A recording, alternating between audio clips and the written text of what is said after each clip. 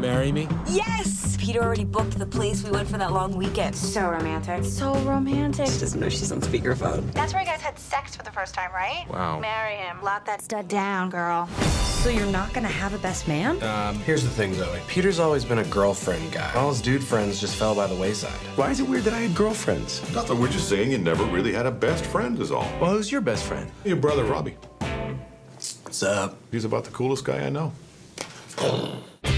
So what do I do? How do I meet friends? If you see a cool-looking guy, strike up a conversation and ask him on a mandate, okay? You know what I mean? No. Casual lunch or after-work drinks. You're not taking these boys to see The Devil Wears Prada. Oh, God, I love that movie.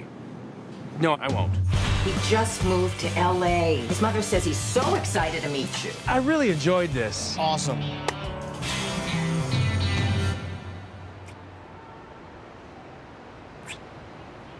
Yeah, he got up in there. Like tongue? Oh, yeah. Deep in my mouth. I'm Peter Klaven. I'm the realtor. Sydney Fife. Hey, check out these two. That guy needs to fart. He does seem to be clenching. Watch the leg. Boom. He farted in my open house. He sure did. I'm thinking it might be a little bit small. Totally, and it smells like fart. Hey, Sydney. I could be in Venice by five. I could do that. It's a mandate. This is a mandate. He's the most beautiful dog in the world. Need a plastic bag or? Oh, no, I don't clean up after my dog. Damn it! How about cleaning up after your dog? You mind your own! What the? Society tells us to act civilized, but the truth is we're animals, and sometimes you gotta let it out. Try it.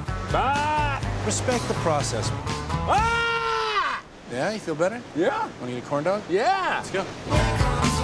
So what do you guys do for seven straight hours? Yeah, Pete. So is he your best man? It's way too early to tell. Sweet, sweet hanging.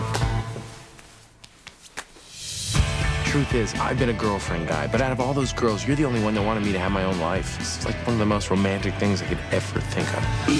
What's up? Come on. Hey, geek! I just stepped in your dog's crap. Peter, run!